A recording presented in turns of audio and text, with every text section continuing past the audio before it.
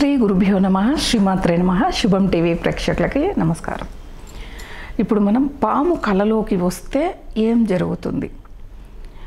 పాము కలలోకి రావటం అనేది చాలా రకాలుగా మనకి కనిపిస్తుంది. కొంతమందికి అలా కనిపించి వెళ్ళిపోతుంది కొంతమందికి కొంత సమయం కనిపిస్తుంది కొంతమందికి రాత్రి నిద్ర అంతా కూడా పాము కళ్ళలో కనిపిస్తూనే ఉంటుంది.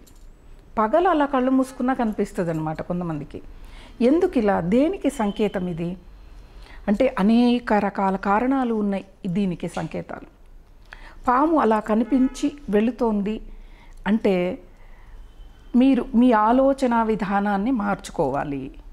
అంటే మీరు నెగిటివ్గా ఆలోచిస్తున్నారు. అంటే నెగిటివ్ అంటే విషంతో సమానం కదా. అందుకే విషంతో కూడుకున్న ప్రాణి కళ్ళు మన కళ్ళలోకి అలా వచ్చి వెళ్ళింది. కాసేపు ఉండింది అంటే దానికి కారణం ఏంటిది? ఊరికే కనిపించటం ఒక ఎత్తు మనల్ని వెంబడించడం ఒక ఎత్తు కాటేసి మనకి రక్తం వచ్చినట్లు కనిపించటం ఇంకొక రకాల ఇన్ని రకాల కారణాలు ఉంటాయి.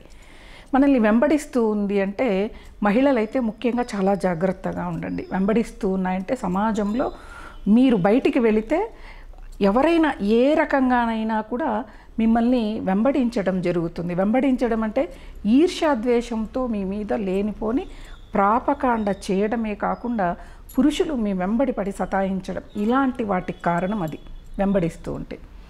కాటేసి రక్తం కనిపించింది అనుకోండి మీరు జీవితంలో ఐశ్వర్యవంతులు కాబోతున్నారు అని అర్థం. అంటే ఆ పెయిన్ నొప్పిని కూడా మీరు అనుభవిస్తారు కళలు అనమాట దానికి కారణం ఇది అన్నమాట. అంటే ఐశ్వర్యం రాబోతోంది. ఓ మంచి పేరు ప్రతిష్టలు సమాజంలో మీకు రాబోతూ ఉన్నాయి. అంటే ప్రభుత్వ పరంగా కావచ్చు ఇంకా ఏ రంగంలోనైనా కూడా మీరు ఉన్నత శిఖరాలకి వెళ్తారు అనే దానికి అర్థం అన్నమాట. అలాగే చాలా సమయం పాము చూడడము పాము విన్యాసాలు చూడటము పాము పుట్ట రావటము పుట్టలోంచి పాము వచ్చి నిలబడటము అనేక రకాలతో మనకి చాలా సమయం కల్లోకి వచ్చిందనుకోండి అంటే మీరు ఏదైనా మొక్కు మొక్కి మర్చిపోయి ఉంటారు. నిజంగా ఏదైనా పుట్టకు పాలు పోస్తామనో పుట్టకి ప్రదక్షిణలు చేస్తామనో లేకపోతే మనకి ప్రధానమైన అనాగ ఆలయాలు చాలా ఉన్నాయి. మనకి ఆ తెలుగు రాష్ట్రాల్లోనే చాలా ఉన్నాయి.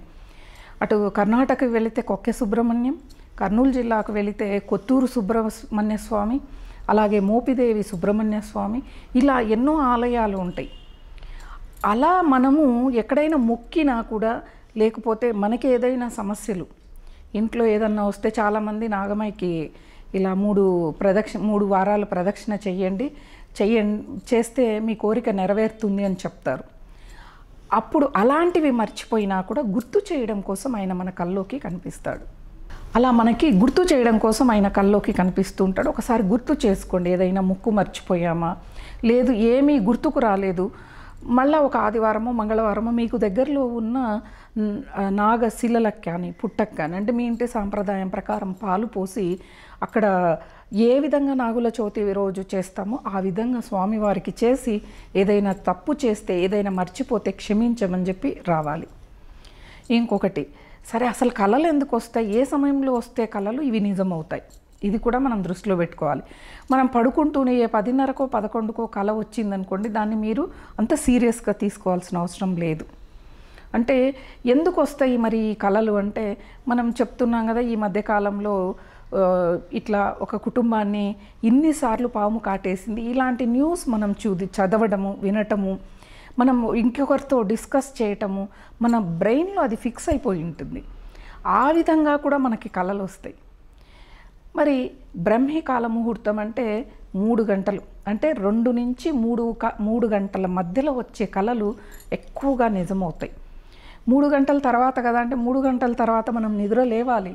మన సనాతన ధర్మం బ్రహ్మీకాల ముహూర్తంలో లేచి ఆరాధన చేయమంటుంది. అప్పుడు కళలు ఎలా వస్తాయి? అంటే మనం ఇప్పుడు నిద్రపోతున్నాం కాబట్టి ఆ సమయంలో వచ్చే కళలు నిజమవుతాయి అనుకుంటున్నాం. అది కాదు. రెండు నుంచి మూడు మధ్యలో వచ్చే కళలు నిజమవుతాయి. ఆ సమయంలో వస్తేనే మీ మీరు వీటిని పరిగణలోకి తీసుకోవాలి. ఇలా కొంతమందికి ఏంటిది అంటే నాగుల చవితి వస్తుందంటే ఒక వారం పది రోజుల ముందు నుంచి నాగుపాములు కల్లో కనిపిస్తూ గుర్తు చేస్తూ ఉంటాయి. నాగుల చవితి వస్తుంది నీ పాలు పోయాలి అన్న దానికి సంకేతంగా వస్తుంది అన్నమాట అప్పుడు గుర్తు చేయటం కోసం ఆ సుబ్రహ్మణ్య స్వామి ఆ రూపంలో వచ్చి మనకి చెప్తూ ఉంటాడు. అంతేకాని కల్లోకి వస్తే భయపడవలసింది ఏదీ లేదు. ఒకవేళ వెంబడిచ్చినట్టుగా వచ్చిందనుకో ఆ దోష పరిహారం కోసం ఒకరోజు పుట్టకి పాలు పోసి ప్రదక్షిణ చేసి ఈ గండాన్ని నుంచి బయటెక్కించమని అడిగితే ఖచ్చితంగా భగవంతుడు ఎవరి రూపంలో ఒక రూపంలో వచ్చి మనల్ని రక్షిస్తాడు. అంతేకాని బాధ పెట్టిన వాళ్ళు ఆ బాధను పోగొట్టే పరిహారం కూడా భగవంతుడు మనకి చెప్పాడు. మన పెద్దవాళ్ళు సనాతన ధర్మాన్ని మనకు అందించారనమాట అయ్యో ఇలా వచ్చేసిందే ఏమవుతుందో ఏమో అని చెప్పాను. ఇంకొకటి ఈ కళలో ఏ పాములు వస్తే కూడా మనకు నష్టమో తెలుసుకోవాలి.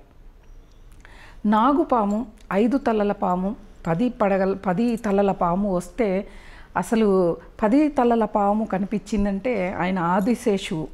వైకుంఠంలో ఉన్న ఆదిశేషువు మీకు దర్శనమిచ్చాడు. అంటే మీకు ఆధ్యాత్మిక జీవితం సంపూర్ణంగా ఈ జీ ఈ జన్మకి పొందుతారు అని అర్థం అన్నమాట అంటే మనకి వైకుంఠ ప్రాప్తి లభిస్తుంది అని. ఐదు తలల పాము కనిపించింది అనుకోండి. మీ నుంచి సమాజానికి ఆధ్యాత్మికంగా మీరు అందించవలసింది ఇంకా ఉంది అని చెప్పడానికి ఐదు తలల ఆ వాసుకి మనకి దర్శనమిస్తాడు. అలాగే నాగుపాము. నాగుపాము అంటే మనకి ఇక్కడ చాలా బంగారు వర్ణములో గోల్డెన్ స్నేక్ అంటారు. ఆ బంగారు వర్ణంలో ఉన్న పాము కలలో కనిపిస్తే మనకి బంగారమైన జీవితం మొదలవుతోంది అని అర్థం. అలాగే శ్వేత నాగు కనిపించింది అంటే మరు జన్మ మనకు లేదు. అంటే శ్వేతము అంటే తెలుపు వర్ణపు పాము కదా. తెల్లగా ఉంటుంది. అంటే స్వచ్ఛంగా ఎటువంటిది ఏమీ లేదు. అంటే జీవితం అలా స్వచ్ఛంగా ఉండి మనకి మోక్షం లభిస్తుంది అనేదానికి సంకేతంగా మనకి ఆ శ్వేతనాగు కళలో కనిపిస్తుంది. ఈ పసర్ల పాములని జ- నత్తల పాములు చాలా రకాల పాములు. మట్టిలో ఉండే పాములు ఇవి కూడా కళలో కనిపిస్తాయి. ఇవన్నీ అనారోగ్యానికి సంకేతాలు అంటే మీకు మున్ముందు అనారోగ్యం సంభవించబోతోంది అనే దానికి సంకేతంగా ఇవి కనిపిస్తే మీరు ఆరోగ్యపరమైన జాగ్రత్తలు తీసుకోవాలి. అంటే మరి ఇవన్నీ ఏంటిదండి? ఇవన్నీ అన్ని పుక్కిటి పురాణాలు లేకపోతే మంత్రాలకు చింతకాయలు రాలుతాయా? ఇవన్నీ అంటారు. మంత్రాలకి చింతకాయలు రాలకపోయినా మనలో ఉన్న చింతలు దూరం అవుతాయి. ఆ విషయం మాత్రం గుర్తుపెట్టుకోవాలి. పెద్దవాళ్ళు అంత ఈజీగా పెట్టలేదు. అన్నిటినీ కూడా పరిశోధించి పరిశీలించి మనకు అందించారు. అంత సులభం కాదనమాట. మనము భక్తి అంటే ఏమిటి అంటే వాళ్ళు అందించిన సనాతన ధర్మాన్ని ఆచరించడం భక్తి.